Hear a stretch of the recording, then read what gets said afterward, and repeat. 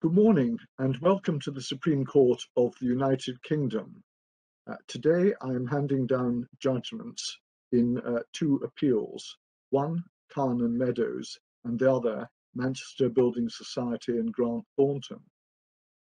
A panel of seven justices has heard these appeals which raise questions about the application of the approach to ascertaining the scope of a defendant's duty of care in the judgment of the House of Lords in South Australia Asset Management and York Montague Limited, which I will call SAAMCO, in 1997 in two very different circumstances.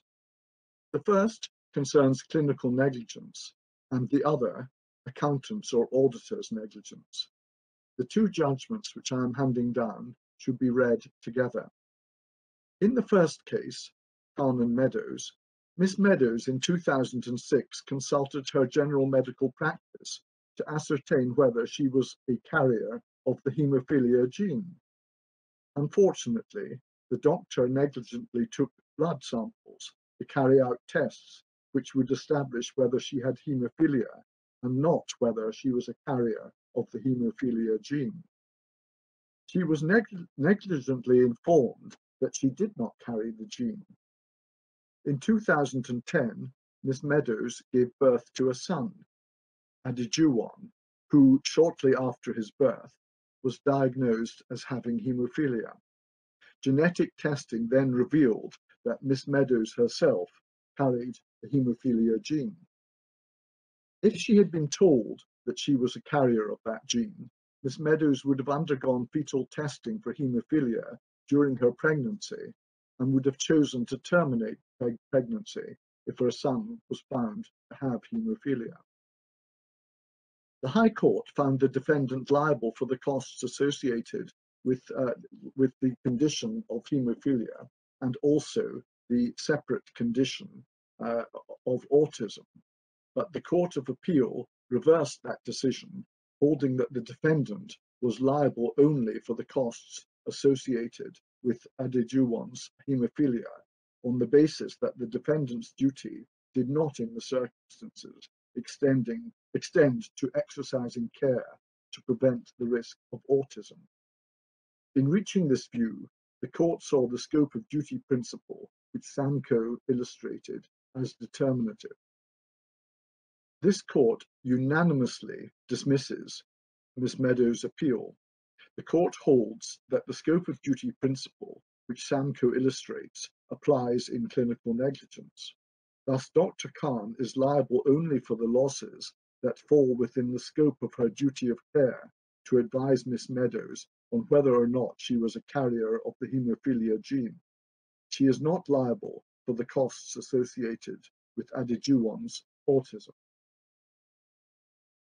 In the second appeal, Manchester Building Society and Grant Thornton Grant Thornton, a firm of accountants, in 2006 and for several years thereafter, negligently advised the Building Society that it could prepare its annual accounts according to a method known as hedge accounting, and that these accounts give a, gave a true and fair view of the Building Society's financial position. The Building Society relied on that advice to expand its business of giving lifetime mortgages and entered into long-term interest rate swaps as a hedge against the cost of borrowing money to fund that business. This method of uh, hedge accounting hid the volatility in the building society's capital position and the severe mismatch which developed between the negative value of the swaps and the value of the mortgages which the, the swaps were designed to hedge.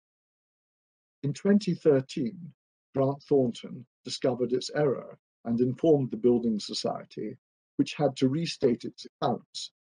Uh, uh, uh, and, and the accounts, as a result, showed substantially reduced assets and insufficient regulatory capital. The Building Society uh, remedied, remedied, this situation by closing out the interest rate swap contracts early at a cost of over 32 million pounds. The question in this appeal is, is whether the Building Society can recover damages from Grant Thornton uh, uh, recover as damages from Grant Thornton the cost of closing out those swaps. Both the trial judge and the Court of Appeal held that it could not, and they based their, under, uh, they based their decision on their understanding of the scope of duty principle in SAAMCO.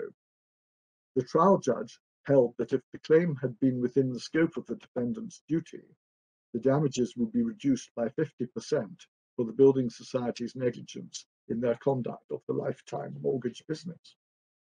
This court unanimously allows the building society's appeal, holding that the loss fell within the scope of duty of care assumed by Grant Thornton, having regard to the purpose for which it gave its advice on hedge accounting. The court upholds the trial judge's 50% reduction in damages for contributory negligence. In each appeal, the majority judgment is written by Lord Sales and me, with whom Lord Reed, Lady Black, and Lord Kitchin agree. Lord Burrows and Lord Leggatt each write concurring judgments in which they analyse the scope of duty principle in SAAMCO differently. The majority judgment recognises in each case that there is no one correct way to analyse the tort of negligence, but considers that a helpful model to analyse the scope of duty principle within the scheme of the tort of negligence is to answer six questions in sequence. The first question, which I call the actionability question, is to ask, is the harm, which is the subject matter of the claim, actionable in negligence? The second question, which I call the scope of duty question, is to ask, what are the risks of harm to the claimant against which the law imposes on the defendant a duty to take care? The third question, which I call the breach question, is to ask, did the defendant breach his or her duty by his or her act or omission? The fourth question, which I call the factual causation question, is to ask, is the loss for which the claimant seeks damages the consequence of the defendant's act or omission. The fifth question, which I call the duty nexus question, is to ask, is there a sufficient nexus between the particular element of harm for which the claimant seeks damages and the subject matter of the defendant's duty of care, which has been analysed at stage two.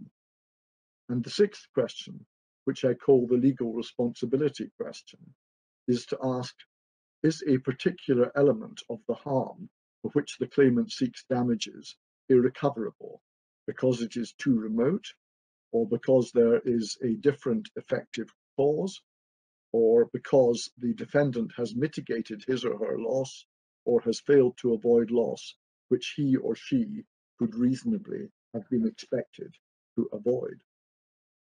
The scope of duty principle is that a defendant is liable only for losses which fall within the scope of his or her duty of care to the claimant. This is addressed at stage two of the six stages. This principle predates SAAMCO, but was applied and developed in that case by its application not to kinds or categories of damages as in the past, but to the quantification of damage.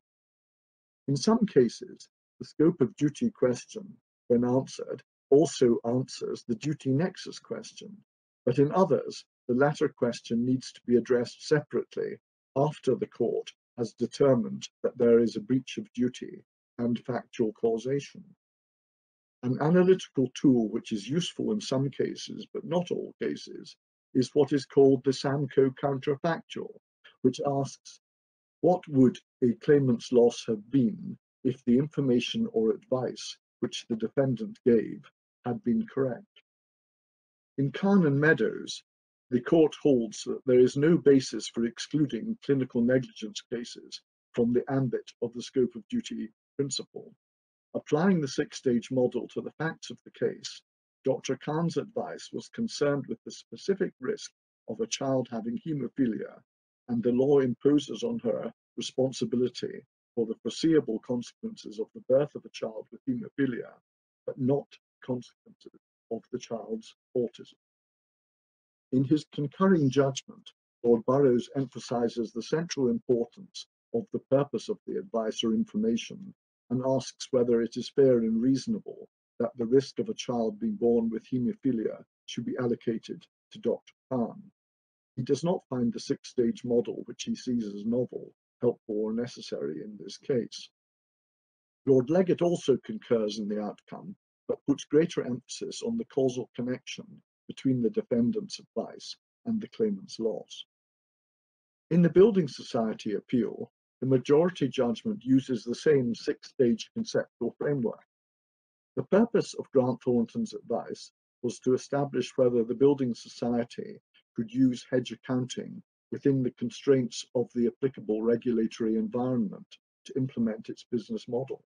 As a result of the negligent advice, the Building Society entered into the swap transactions and was exposed to the risk of loss in breaking the swaps when it was realized that hedge accounting could not be used. The Building Society was as a result exposed to demands for increased regulatory capital, which the use of hedge accounting was meant to avoid. That was the risk that the advice was supposed to allow the Building Society to assess and which Grant Thornton's negligent advice caused the Building Society to fail understand.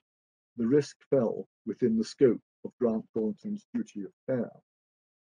In his concurring judgment, Lord Leggatt again emphasizes the role of causation and asks whether there is a sufficient causal relationship between what made the information and advice wrong and the factually caused basic loss. Lord Meadows' reasoning is closer to the majority, but places greater emphasis on the scope of duty principle as underpinned by the policy of achieving a fair and reasonable allocation of the risk of loss between the parties. In summary, in and Meadows, the appeal is dismissed, and in Manchester Building Society, the appeal is allowed.